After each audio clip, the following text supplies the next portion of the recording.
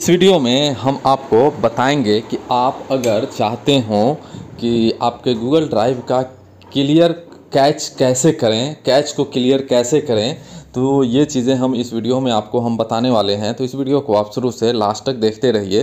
तो देखिए, आपको करना क्या है कि आपको चले जाना है अपने मोबाइल में गूगल ड्राइव को ओपन करना है।